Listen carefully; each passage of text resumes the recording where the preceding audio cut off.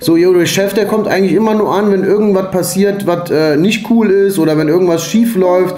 Die meisten Menschen gehen, wenn sie denn überhaupt in solche Gespräche gehen, wenn sie ihnen nicht aus dem Weg gehen, in Gespräche unvorbereitet hinein. Das ist ja das größte Problem. Was passiert, wenn man dann nicht abliefert, so wie bei den meisten Handwerksbetrieben, wo man Sachen bespricht, Probleme anspricht, aber nachgelagert wird keine Veränderung angestrebt. Wenn ich nicht in der Lage bin, meinen Leuten zuzuhören, dann werden sie irgendwann nicht mehr auf mich zukommen. Ein Handwerker mit einer Mission, das Handwerk zu stärken und die Jugend wieder fürs Handwerk zu begeistern. Willkommen beim Handwerksschmiede-Podcast. Hier reden wir über Themen, die das Handwerk bewegen und Liborio teilt mit dir sein Wissen aus über zehn Jahren Unternehmertum im Handwerk. Herzlich willkommen heute zu meinem Handwerksschmiede Real Talk mit einer reizenden Dame, die ich vom äh, kurz, ja, so knapp ein Jahr, anderthalb Jahre, zwei Jahre haben wir uns mal kennengelernt. Die liebe Hanna Panides ist bei mir heute in meinem zweiten Online-Podcast. Ich freue mich mega, dass du da bist. Grüß dich, Libor. Ich freue mich auch. Hi, Hanna. Schön, dass du dir äh, Zeit genommen hast und ich freue mich heute äh, mit dir über Kommunikation zu sprechen und wie Handwerkschefs ja besser mit ihren Mitarbeitern kommunizieren können, sodass Sachen auch vernünftig ankommen. Wir kennen uns ja schon etwas länger und haben uns mal kennengelernt auf einer Veranstaltung vom äh, lieben Felix Tönnissen und wir haben jetzt ähm, und da habe ich gedacht, wow, was für eine coole Moderatorin, wie die das macht, wie die das Publikum ranzieht und habe gedacht, hey, das passt doch super zu uns. Und wir haben ja jetzt auch schon zwei Handwerkskongresse gemacht zusammen. Ähm, einmal in Hamburg, einmal in Frankfurt. Nächstes Jahr stehen auch wieder zwei an. Davon weißt du noch nichts, aber da kommen wir auch bald auf dich zu. Ähm, denn ähm, wir lieben die Zusammenarbeit mit dir.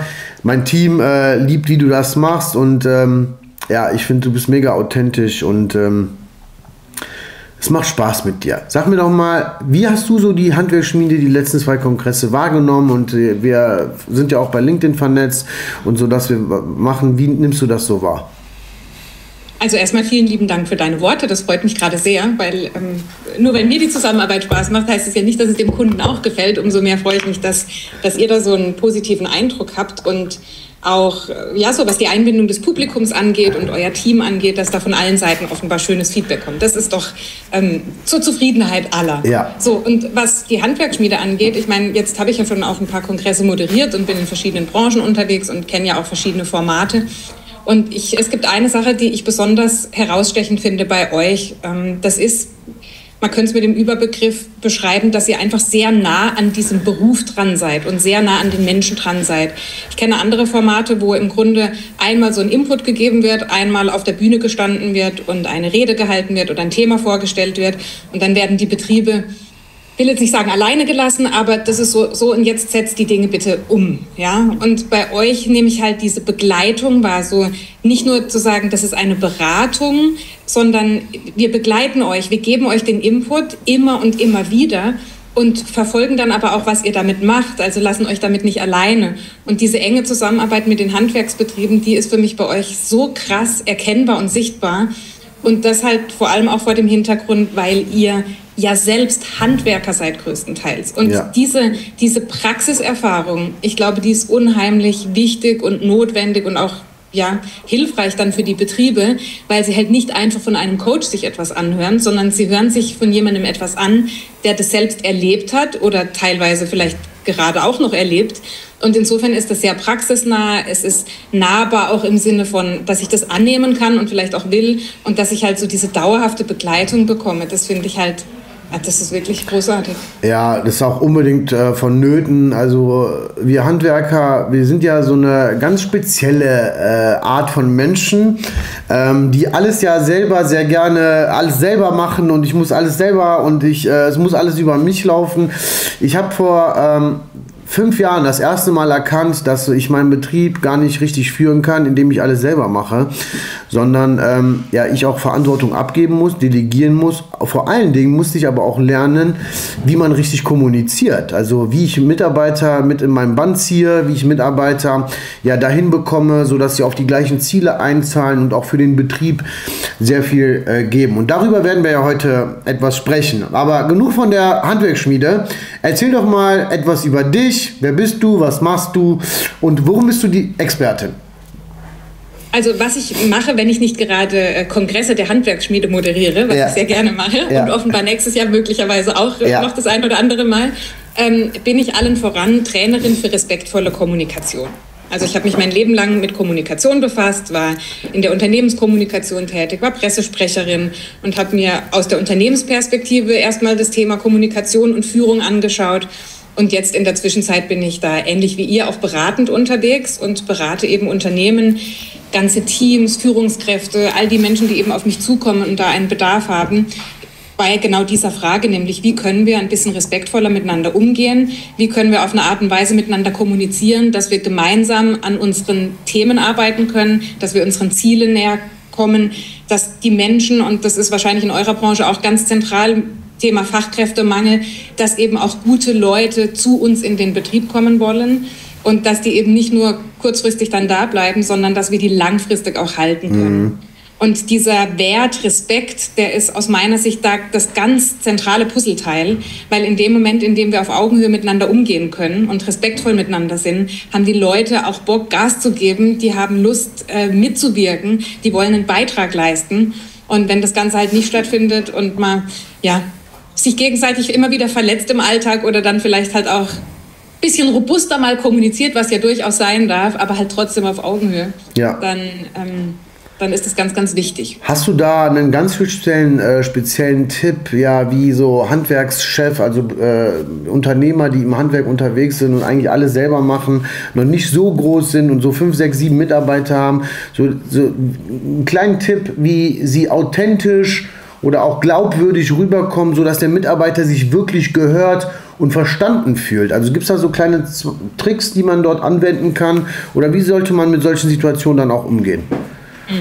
Also da stecken zweierlei Dinge drin. Das eine, du hast von Glaubwürdigkeit gesprochen. Ich glaube, dass Menschen und vor allem Führungskräfte, die dann vielleicht auch Teams haben, glaubwürdig äh, sein müssen im Sinne einer Stimmigkeit. Also die brauchen sich nicht irgendwelche Tools anzueignen oder irgendwelche Methoden, sondern es geht vielmehr darum, dass man auch so ein bisschen sich selbst kennenlernt, seinen eigenen Kommunikationsstil kennenlernt und nicht sagt, nur weil irgendein Trainer jetzt gesagt hat, man muss so und so miteinander sprechen, ähm, das dann roboterartig oder mechanisch zu übernehmen. Davon halte ich gar nichts. Also im Grunde geht es im ersten Schritt mal darum zu sagen, was bin ich eigentlich für ein Typ, was liegt mir, welche Form auch der Kommunikation um dann zu sagen, wie kann ich es jetzt innerhalb meiner Art aufzutreten schaffen, ähm, dass Menschen sich gesehen fühlen. Und da ist eben der Respekt e-, extrem wertvoll und hilfreich, weil, wenn wir den übersetzen, den Respekt, heißt es so viel wie einen Menschen sehen. Ja, also respizere, Respekt im Lateinischen heißt, ich sehe dich. Und das ist ja genau das Gefühl, das die Mitarbeitenden, egal wo du hinschaust, überall wollen und brauchen. Sie wollen gesehen werden, sie wollen respektiert werden, sie wollen wertgeschätzt werden, sie wollen mit dem, was sie einbringen und mit dem, wer sie sind, wollen sie wahrgenommen und ernst genommen werden. Und wenn das unser Ziel ist, um auf deine Frage zurückzukommen, dann geht es ja auch immer darum zu sagen, wie kann ich mich denn für diese Menschen mal ein bisschen interessieren?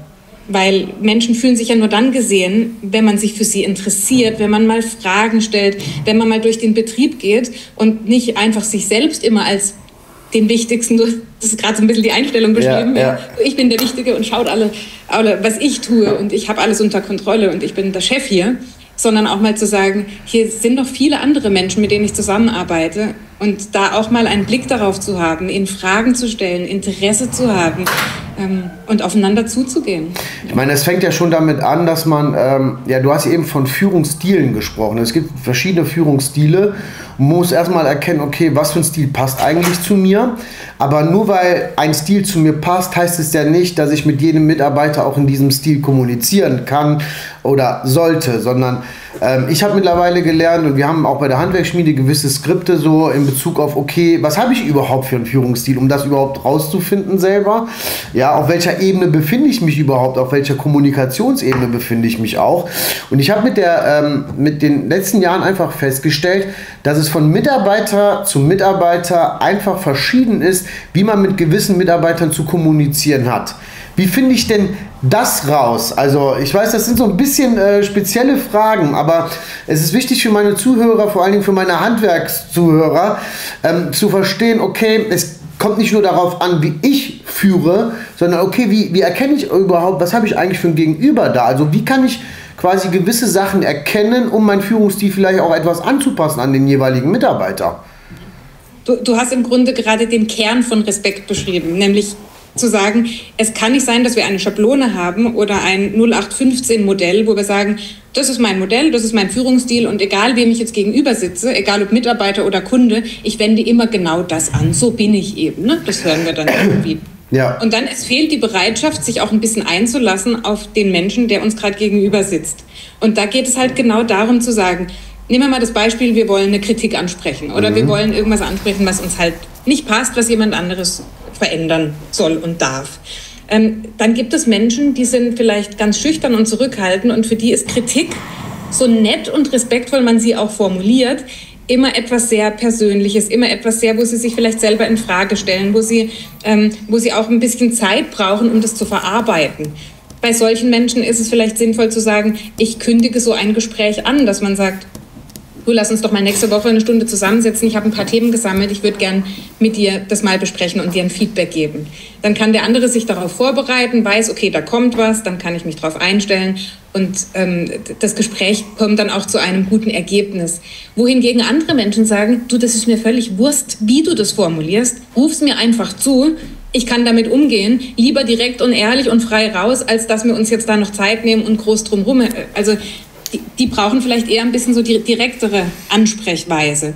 Und, und da zu schauen und nicht so stark zu sein und zu sagen, aber so mache ich das und so sind es unsere Regeln und so ist es unser Fahrplan, sondern zu sagen, wir haben zwar Werte, an denen wir uns orientieren und das soll alles in einem bestimmten Rahmen stattfinden, nämlich dass der andere wirklich auch danach, naja, motiviert ist man nach einer Kritik vielleicht nie, aber zumindest bereit ist, das zu verändern. Mhm. Und dafür muss man halt eben schauen, welchen Mensch habe ich vor mir? Ist das jemand, der braucht vielleicht ein bisschen mehr Zeit, der braucht ein bisschen mehr Erklärung, auch was dir jetzt wichtig ist? Oder ist das jemand, dem rufst du das zu und der ist dankbar für ein kurzes Zwischentür- und Angelfeedback? Ja.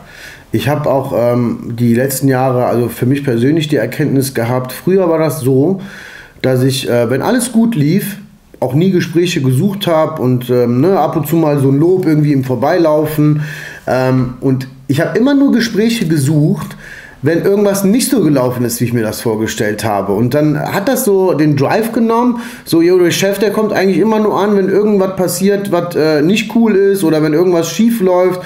Ähm, und die meisten drücken sich davor, ja, schwierige Gespräche zu führen. Also wenn es jetzt alles gut ist, dann kann man natürlich auch schön loben, Gespräche suchen, aber wenn es dann da wirklich darauf ankommt, ein Gespräch zu suchen, ja, wenn es äh, um Leistungsprobleme geht, die Performance stimmt des Mitarbeiters nicht oder irgendwelche Konflikte im Team stehen an, dann überlässt man den, die, die Mitarbeiter ja oft ja auch sich selber.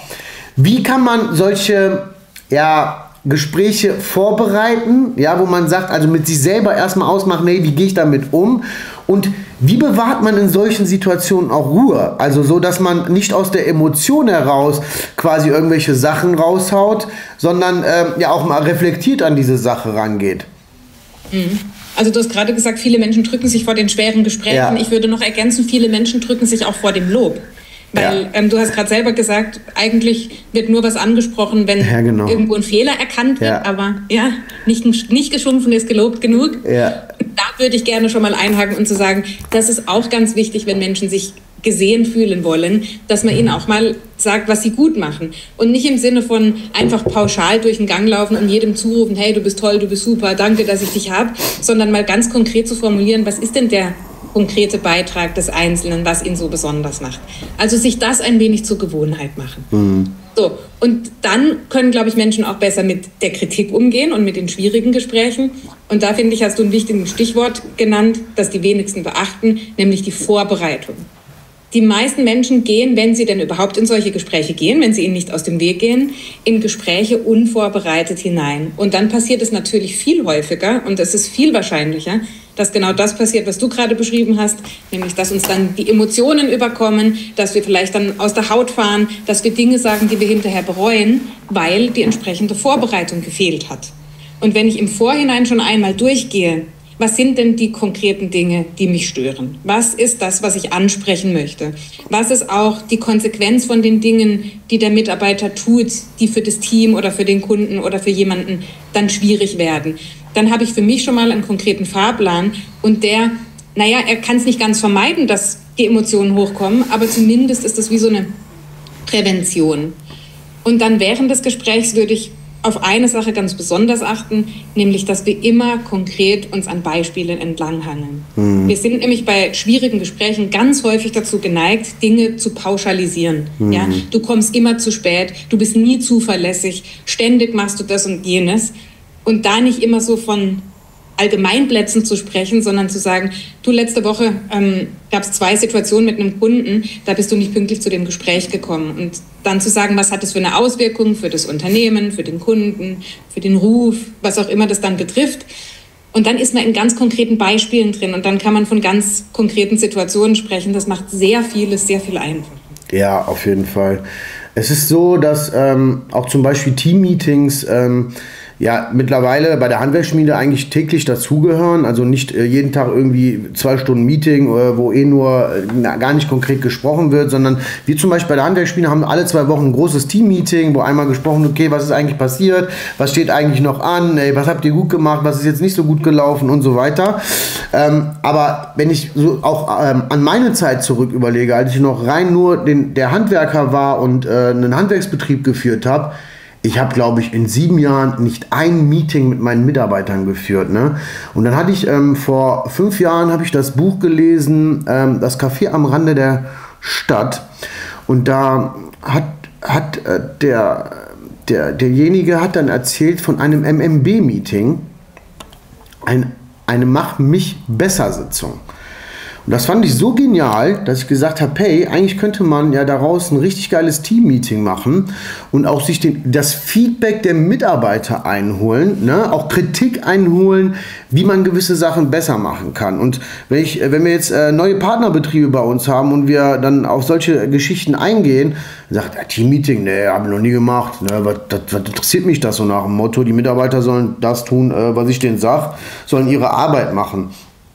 So, also wenn der Dachdecker ist, soll er vernünftig ein Dach decken so und alles andere hat er nichts mit zu tun. Für mich mittlerweile, ich habe die Einstellung mittlerweile auch auf der Baustelle ist es so, hey, wenn du gute Arbeitsleistung bringst, also Balkon vernünftig abdichtest, einen Keller vernünftig abdichtest und du bist ein guter Mitarbeiter, dann zählt das trotzdem nur 50 Prozent, weil das Ganze drumherum, wie du mit dem Team umgehst, wie du mit dem Team arbeitest, wie du deine digitale Bauakte ausfüllst, wie du mit dem Kunden sprichst und so weiter, sind so die anderen 50 Prozent. Wie wollen wir denn aber auch rausfinden, ja, ob ein Mitarbeiter gut performt oder nicht? Und wie wollen wir auch rausfinden, wie haben wir Probleme in unserem Betrieb? Und dann habe ich ähm, mir dann gedacht, hey, okay, cool, dann lass uns mal so ein MMB-Meeting machen. Und ich habe das mittlerweile so aufgebaut, gibt es natürlich auch für unsere Partnerbetriebe, dass wir sagen, okay, jeder Mitarbeiter in so einem Team-Meeting mache ich alle sechs Wochen. Ja, es gibt quasi einmal im Quartal ein größeres Team-Meeting, das geht so zwei bis drei Stunden. Und dann so alle vier, also in, in, der, in der Mitte gibt es dann noch mal ein kleineres Meeting, wo man sich zusammensetzt, ein paar Sachen oder Neuigkeiten bespricht. Und ich habe das mittlerweile so implementiert, dass ich sage, hey, ähm, jeder Mitarbeiter bekommt von mir drei Karteikarten. Und auf diesen drei Karteikarten stehen drei Fragen, also auf jeder einer. Auf der einen steht, hey, was war gut? Auf der anderen steht, was war nicht so gut. Und auf der dritten steht, was können wir besser machen. So, und dann gebe ich den Mitarbeitern fünf, fünf bis äh, zehn Minuten Zeit, und die sollen das quasi anonym ausfüllen. Ja, so und dann gibt es zwei Möglichkeiten. Entweder breiten wir das hier auf unserem Tisch auf und besprechen diese Karten interaktiv, wo wir halt auch als Chef Sachen erkennen, die für uns eigentlich im Alltag gar nicht so erkennbar sind, aber wir bekommen Informationen, die relevant sind, um unsere Betriebe nach vorne zu bringen, unsere Mitarbeiter nach vorne zu bringen.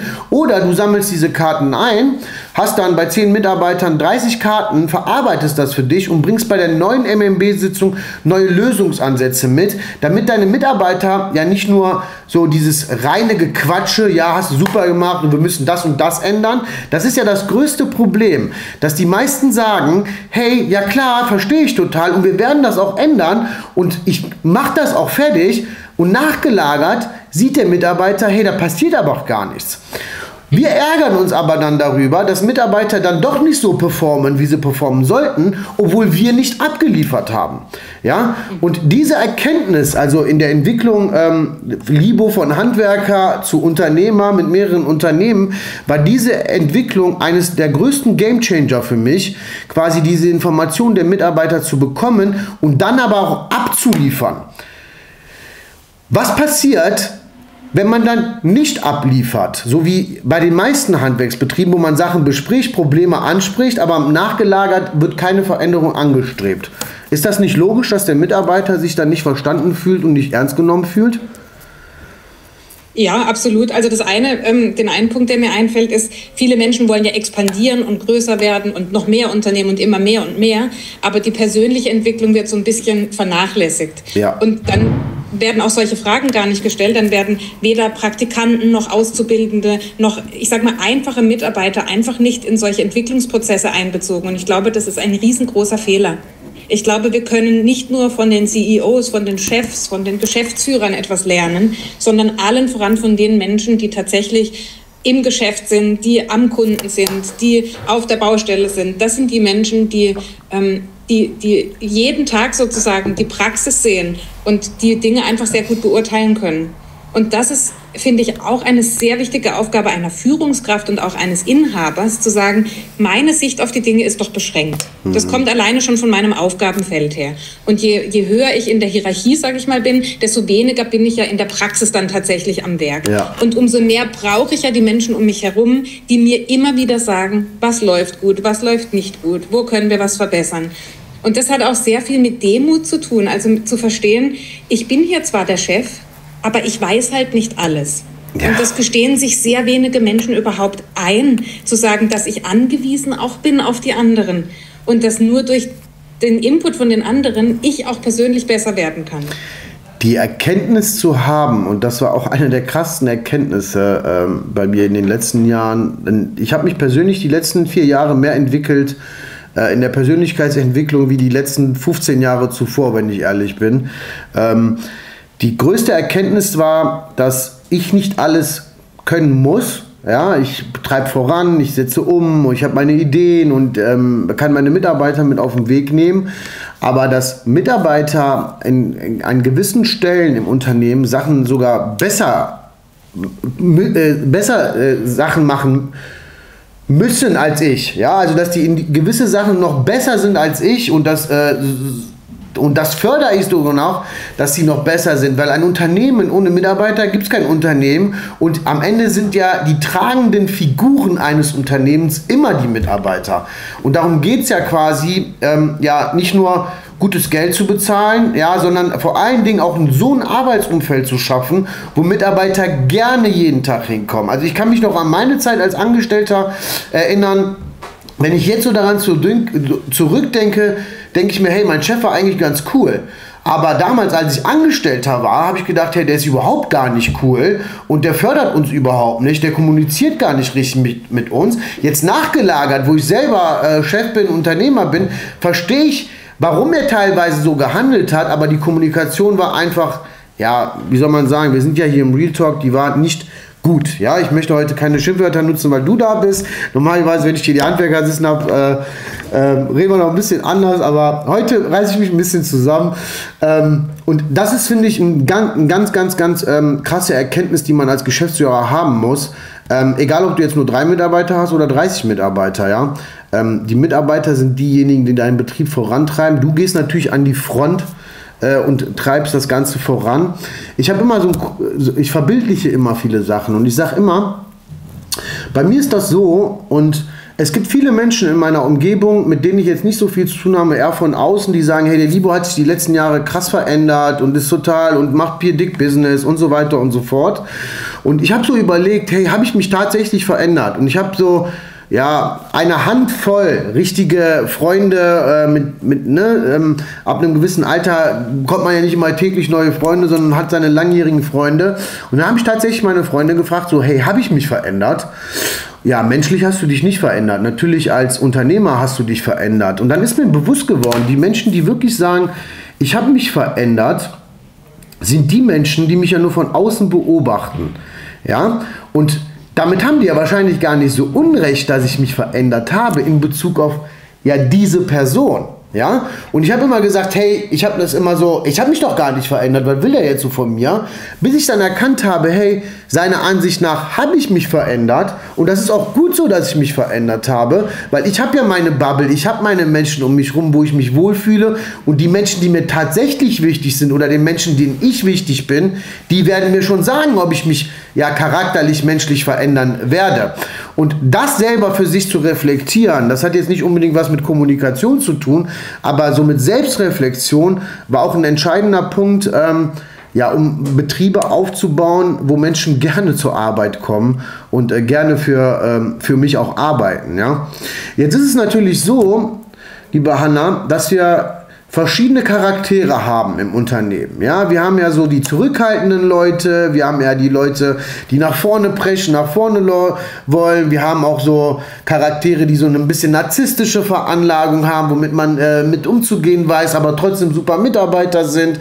Wir haben Mitarbeiter, ähm, ja, die so ein bisschen nur nach 0815 arbeiten, einfach nur ihre Arbeit machen. Wir haben Mitarbeiter, die überperformen und so weiter. Wie kann man diese Menschen so etwa ja aus sich rauslocken? Also Menschen, die nach vorne preschen, sagen immer ihre Meinung, aber die Menschen, die tatsächlich Probleme haben, die halten sich eher zurück, weil sie halt keine Konfrontation wollen, ja, oder gar nicht so auffallen wollen. Wie geht man mit ähm, solchen äh, Menschen um? Oder wie kann man die so ein bisschen aus der Reserve locken äh, und sagen so, hey, ich bin offen dafür und äh, du kannst mit mir über solche Sachen sprechen. Ja. Ja, das hängt ja spannenderweise miteinander zusammen, weil häufig sind diejenigen, die sehr dominant sind und vielleicht auch sehr selbstbewusst, die schüchtern ja dann oftmals auch diejenigen ein, die sowieso ein bisschen Schwierigkeiten haben und eher introvertiert sind. Und wenn wir jetzt mal an so eine Situation denken wie bei euch im Teammeeting, sage ich jetzt mal, und da ist jemand dabei, der sich immer als erstes ähm, zu Wort meldet, der viele Redebeiträge hat, der vielleicht auch gibt es ja auch Menschen, die einfach zu viel reden, ja, die ja. dann auch ohne Punkt und Komma reden ja, und auch ja. gar nicht mehr aufhören. Und dann ist da vielleicht jemand, der hätte auch eine Idee oder einen Beitrag, aber der wird dann, ich meine, eingeschüchtert ist ein starkes Wort, aber zumindest nicht animiert, sich, äh, sich da zu integrieren. Und ich glaube, da hat so jemand, der ein, ähm, der so ein Meeting führt, das muss gar nicht die Führungskraft sein, das kann der Verantwortliche sein, der eingeladen hat zu dem Meeting, hat da eine gewisse Verantwortung in meiner Perspektive, zu sagen, ähm, da, dass ich das ein bisschen gleichmäßig verteile. Also in dem Moment, in dem ich erkenne, dass jemand dieses Meeting übernimmt, die Gesprächsführung sozusagen an sich reißt und das auch immer und immer wieder tut, auch wenn andere sprechen und immer wieder das Gespräch auf sich bezieht, dass man da eben schaut, ähm, bewusst das ein bisschen einzubremsen und zur Not, muss man tatsächlich sagen, auch zu unterbrechen und so, sich zu bedanken für den Redebeitrag und dann die anderen bewusst auch anzusprechen, also bewusst zu integrieren und zu sagen, hey, du warst doch gestern da ähm, bei, bei dem Kunde X, was hast du erlebt, was sind denn deine Erfahrungen, was ist deine Perspektive? Also Menschen bewusst anzusprechen und dann, und das ist, glaube ich, ganz, ganz wichtig, du hast gerade gesagt, so einen sicheren Raum auch dafür zu schaffen. Weil ganz oft haben wir gerade als Führungskräfte die Erwartung, und das ist wichtig, die Erwartung, dass die Menschen sich doch mal öffnen und dass die mal Ideen einbringen und dass die mhm. mal Feedback geben. Aber wenn sie das tun, dann reagieren wir auf eine Art und Weise, die den anderen nicht dazu animiert, es jemals wieder zu tun. Ja, also wenn uns als Chef jemand ein Feedback gibt, vielleicht auch mal mit was Unbequemen, wo mhm. man sich mal anhören muss, dass man da vielleicht nicht gut reagiert hat und sich dann sofort rechtfertigt dafür und so sagt, oh, das war doch gar nicht schlimm oder da war ich halt im Stress, jetzt bewertet es doch nicht über. Wenn man das ein paar Mal macht, dann sind auch die Menschen nicht mehr motiviert, sich wieder zu melden.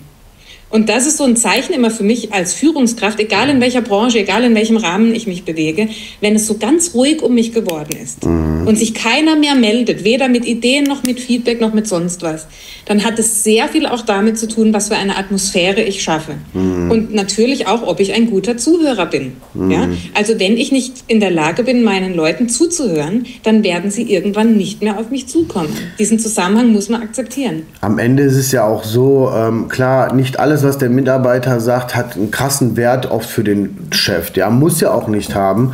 Aber es gilt ja nochmal respektvoll damit umzugehen, egal was jemand sagt, egal ob es total wertvoll gerade in dem Moment ist oder vielleicht nicht so wertvoll in dem Moment ist, trotzdem respektvoll damit umzugehen und zu sagen, hey, finde ich super, machen wir mal Gedanken und, ähm, und dann sprechen wir nochmal darüber. Ne? Also diese Wertschätzung weil viele immer sagen so, ja, was heißt denn Wertschätzung? Ja, ich gebe dem doch schon äh, mehr Geld, als der irgendwo anders äh, bekommen würde. Aber Geld hat überhaupt nichts mit Wertschätzung zu tun, ja. Oder ähm, ähm, für mich heißt Wertschätzung halt also so sehe ich das und so habe ich die Erfahrung gemacht. Mitarbeiter, die bei mir vor vier Jahren angefangen haben als duale Studenten und ähm, mittlerweile jetzt nach vier Jahren Gehälter haben, die ja wirklich sehr hoch sind und Verantwortungsbereiche auch haben und denen eine Möglichkeit auch zu geben, in meinem Betrieb mitzuwachsen, ähm, ähm, nicht nur ja, monetär, sondern auch in der Persönlichkeitsentwicklung. Das heißt für mich vor allen Dingen Wertschätzung, Mitarbeitern Sachen neu beizubringen, Mitarbeiter zu entwickeln. Wir haben hier Coaches im Betrieb, die sind 26 bei der Handwerksschmiede, die haben schon über 400 Handwerksunternehmer begleitet. Ja, also was der für eine Erfahrung für sich mitnimmt, nicht nur während er bei mir arbeitet, sondern auch für seine spätere Zukunft, die Erkenntnis auch zu haben. Und die Mitarbeiter vergessen ja auch oft sowas, weil das alles ja ganz normal wird ja auch ganz oft. Ja, man wir Menschen, wir, sind, wir gewöhnen uns an Sachen. So, und für mich ist es so, und ich bin ähm, ja in einem normalen Haushalt groß geworden. Mein Vater Gesenkschmied war in, äh, mit drei Kindern in einer 70 Quadratmeter Wohnung in einer kleinen Postsiedlung. Uns hat nichts gefehlt. Und man, ich denke immer wieder dran zurück, was mittlerweile ja ich geschaffen habe mit meiner Frau und auch was meine Kinder mittlerweile haben, wie wir leben. Die haben ein eigenes Zimmer, das hatte ich mein Leben lang nicht. Ja, die haben noch ein Spielzimmer, wir fahren öfter mal in Urlaub. Ähm, ich bin, als ich ein Kind war, das war, okay, ab in die Heimat, sechs Wochen Sizilien mit dem Auto runter, so, und dann sitzt er erstmal 30 Stunden im Auto, ja. Ähm, das war und ich habe einfach erkannt, erkannt für mich in meinem Leben, dass nichts im Leben selbstverständlich ist. Ja, also Egal was wir tun, egal was wir brauchen, es ist nicht selbstverständlich, sondern es ist immer an irgendwelche Menschen angekoppelt, die dir die Möglichkeit geben, dich zu entwickeln, dich zu entfalten.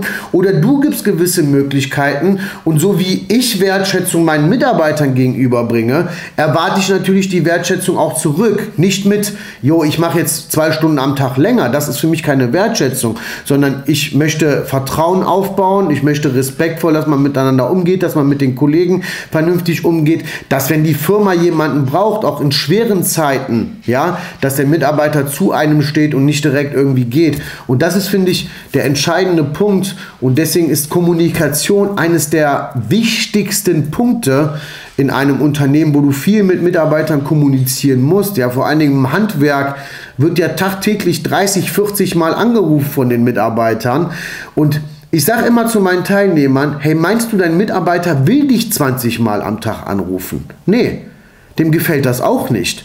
Also warum ruft er dich denn an und wie kannst du ihm gewisse Sachen ja einfach auch zur Verfügung stellen, sodass er sich freier dadurch fühlt, selber Entscheidungen zu treffen?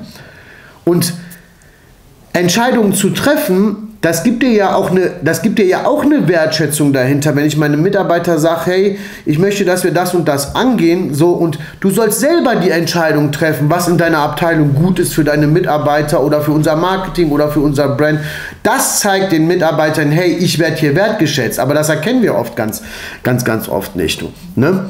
Darf ich zu deinem Punkt noch was sagen? Du hast gesagt, das Monetäre oder das Geld ist ja keine, kein Ausdruck von Wertschätzung. Nein dazu, ich, ich eine, würde eine Ergänzung machen. Ja. Ich nicht.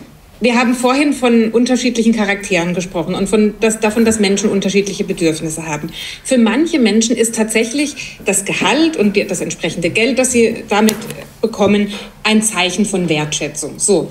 Ich glaube, wir machen manchmal den Fehler, ich habe so den Eindruck, dass wir das, was für uns etwas bedeutet, egal ob das jetzt Wertschätzung ist, Respekt oder gesehen werden, irgendetwas, dass wir unser Verständnis davon gerne auf andere übertragen. Das heißt, weil ich das so empfinde, weil für mich die persönliche Entwicklung wichtig ist, weil für mich die Weiterbildungsmöglichkeiten wichtig sind, weil für mich so das Persönliche und der Teamgedanke wichtig sind, heißt es nicht zwingend, dass das für andere den gleichen Stellenwert hat.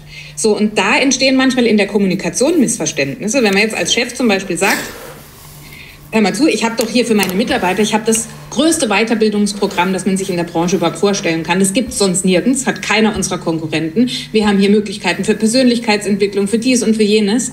Und der Mitarbeiter ist so undankbar, dass der das überhaupt nicht sieht. Ja? Also dass dieses wirklich tolle Angebot, dass das gar nicht gesehen wird.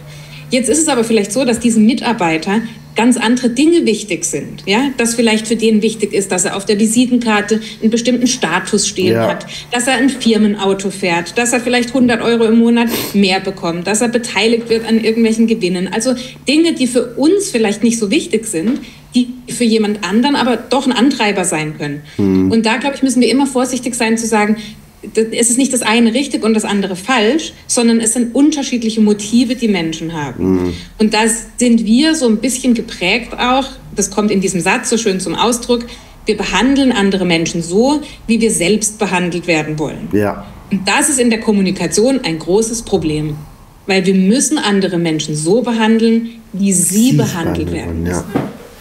Toller Satz, wirklich super. Toll, Halla, du bist äh, mega.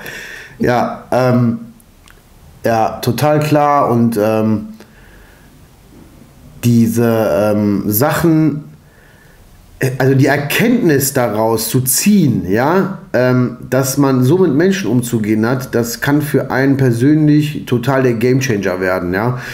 Ähm, und genau, genau das, also genau das ist ähm, der Schlüssel, um Mitarbeiter oder mit Mitarbeitern nicht nur auf einer, ja, ich bin hier oben, du bist da unten auf einer Ebene zu arbeiten, sondern auf Augenhöhe zu arbeiten. Nichtsdestotrotz weißt, muss dein Gegenüber wissen, okay, die Verantwortung hängt aber trotzdem irgendwie noch beim Chef. Aber hey, ich höre dir zu und ähm, mir ist wichtig, was du von mir willst. Ja, und ähm, jedes Mal, wenn ich Gespräche, Mitarbeitergespräche führe, fange ich das auch immer so an. Also ich fange nie irgendwie ein Mitarbeitergespräch an, indem ich sage, so ja, das war doof, das war doof, das war doof, sondern hey, erzähl mir doch mal, wie hast du dich eigentlich die letzten drei Monate gefühlt? Was fehlt dir eigentlich? Was erwartest du eigentlich von mir?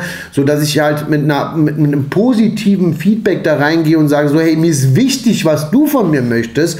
Und wenn ich, die, wenn ich die Möglichkeit habe, dir das auch zu zu bieten, dann tue ich auch alles dafür, ähm, ähm, dass du das auch erhältst. Ich habe einen Mitarbeiter, Mitarbeiter der ersten Stunde, ähm, der ist eher so introvertiert, ja, und arbeitet lieber am PC und macht irgendwelche Kampagnen, anstatt mit Menschen. Und, äh, also der, der, ist nicht so gern unter Menschen, ja, ähm, als, als Typ Mensch.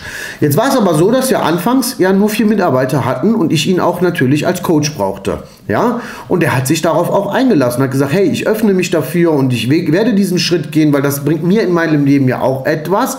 Sein Wunsch war es aber immer zu sagen, hey, wenn wir größer werden bei der Handwerksschmiede, ist es mein Wunsch, dass ich Stück für Stück aus dem Coaching rausgezogen werde, dass ich mein eigenes Ding mache und ähm, ja, so äh, und eher mit meinem PC äh, kommuniziere und meine Sachen mache. Und das war jetzt ein langer, langer Weg. Ja, und ich habe auch nicht gesagt, ja klar, machen wir sofort, sondern ich habe halt gesagt, hey, ich verstehe das total und ich wünsche mir das auch für dich, aber hey, du musst mir helfen, diesen Status oder diesen Status quo, den du haben möchtest, den musst du dir hier selber erarbeiten. Das heißt, die Mitarbeiter, die in deiner Abteilung nach dir kommen, die musst du dorthin bringen, sodass sie, dass sie dich ersetzen können in dieser, also in dem Bereich, sodass ich dir die Möglichkeit geben kann, ja auch deinen Traum zu leben. Ne? Und, und die meisten machen ja einen großen Fehler. Ein Mitarbeiter fordert etwas, ja klar, mache ich. Ja, und dann aber erwartet der Mitarbeiter auch, dass du machst. Aber du als Chef hast das gar nicht in der Handhabe, gewisse Sachen ja anders anzugehen, denn du brauchst ja jemanden, der nachkommt, um diese Stelle zu befüllen.